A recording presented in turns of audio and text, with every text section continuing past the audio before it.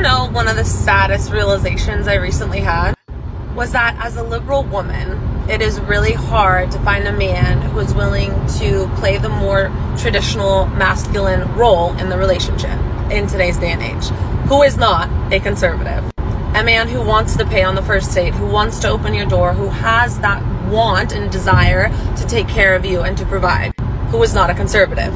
And obviously, as a liberal woman, I do want to be respected for my independence. And I do want to have my own autonomy in the relationship and not be confined or conform to the traditional female homemaker, childbearing role. And most of the men that I've dated who do have that more natural provider masculinity about them are normally conservative. So I don't really know what to do because I don't want to compromise my morals and values just to find a man. But am I asking to have my cake and eat it? Fala cowboys, beleza? Deixa seu like, sua inscrição, seu comentário, especialmente o like, muito importante, tá? Não esquece, aperta esse botão aí, já me ajuda. Vamos lá. A primeira coisa, né? Esse vídeo ele foi legendado muito mais de forma automática do que de fato por mim, tá? Usei um sisteminha ali, só que pode acontecer de ter alguma falha ali e tal, mas eu acredito que uh, uh, o discurso geral, o, o, vocês compreenderam.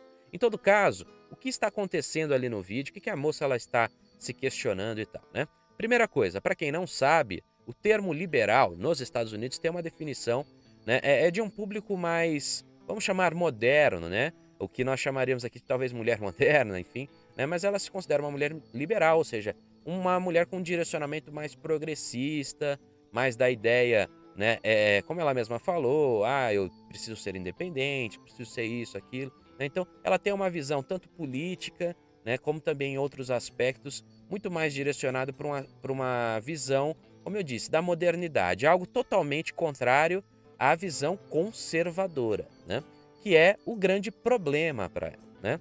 O grande problema e até mesmo o questionamento final, no sentido de que será que eu estou pedindo demais? Será que eu estou pedindo uma coisa que é impossível de ter junto? Que é o quê? Um homem que seja tradicional, né? mas ao mesmo tempo moderno. Né? É basicamente isso que ela quer. Né? Ela quer um cara que uh, uh, uh, possa aceitar o progressismo, a, a, a, visão liberal dela, né?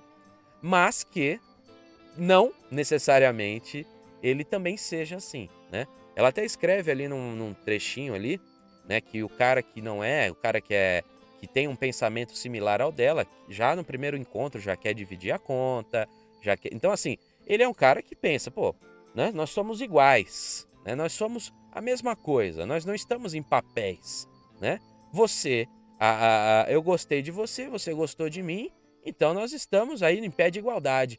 Então, num encontro, numa situação do tipo, eu não vou me colocar num papel, eu vou me colocar simplesmente como alguém que está querendo aí te conhecer, muitas vezes ter ali um encontro casual e nada mais. Então, assim, é uma visão muito mais moderna da coisa, né? Diferente de um cara conservador, que ele quer ali tal que, né? Tá num posicionamento onde ele vai buscar uma talvez uma parceira para vida para vida toda, e nisso ele vai falar: "Não, olha, vou mostrar aqui para ela que eu sou um provedor, vou aqui pagar as coisas e tal, vou mostrar para ela o quanto que eu sou um cara, né, sei lá, eu abro a porta do carro, eu faço isso". Então assim, o cara ele vai para essa visão. Só que uma coisa que talvez, né, é, elas não compreendam é que o homem, ele nunca fez isso a troco de nada, né? Na história da humanidade. Não, ele estava em busca de alguma coisa também. Do mesmo modo que ela busca esse cara do papel tradicional e tudo mais, o homem, quando ele faz essas coisas, não é porque, sei lá, ele, uh, nossa, ele ama aquela mulher, ele acabou de conhecê-la, né? Na verdade, ele está justamente não só vendendo, fazendo o marketing pessoal dele, principalmente para aquela que ele entende que também está retribuindo de algum modo, ou seja, cavalheiro e dama.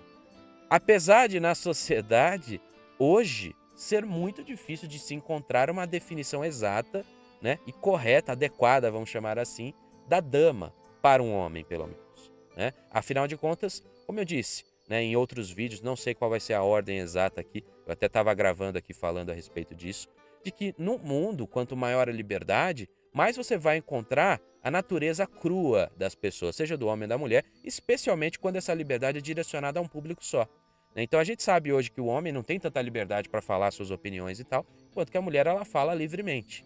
Né? Consequentemente, é isso que acontece. Elas vivem uma realidade onde, ah, eu não vou fazer coisa para macho, eu não vou fazer isso, não vou fazer aquilo, vou viver minha vida tal, assim.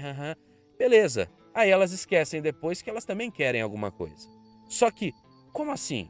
Eu quero algo do homem e eu tenho que entregar algo em troca? Que absurdo! Esse é o pensamento atual. É muito curioso, né? Então, um cara que ele tem esse, é, é, essa visão conservadora ou coisa assim, ele provavelmente ele vai procurar o máximo possível, não que ele vai encontrar, mas ele vai procurar o máximo possível uma mulher que tenha um papel ali, né, é, similar ao dele, que também tenha se posicionado de uma maneira como uma dama, de repente que já tenha se resguardado ou coisas assim, tá? E aí, vendo essa oportunidade, vendo esse diamante, né?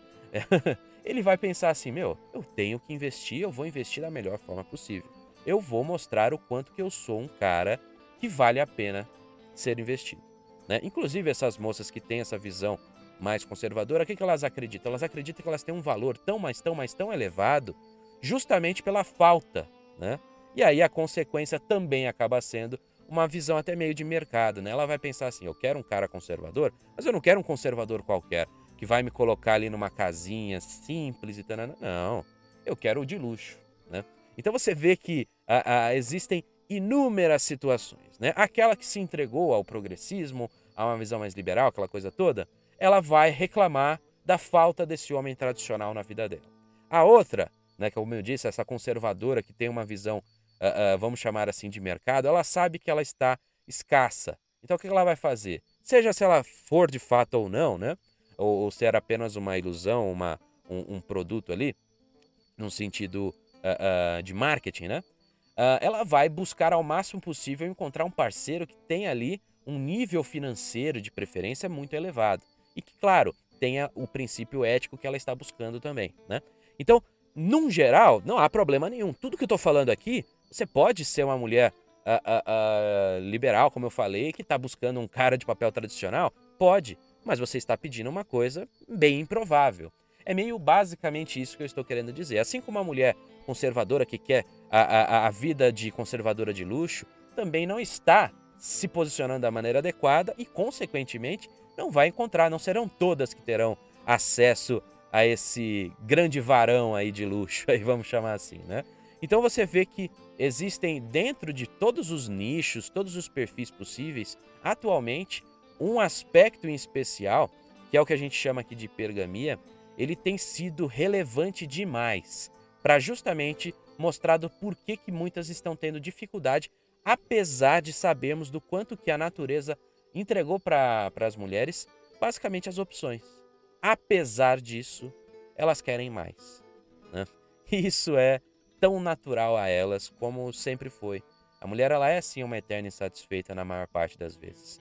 Tá? É muito improvável, a não ser que talvez exista toda uma história, um background que faça com que ela se, se coloque num posicionamento mais humilde da coisa, mas na maior parte das vezes não vai ser assim que vai acontecer.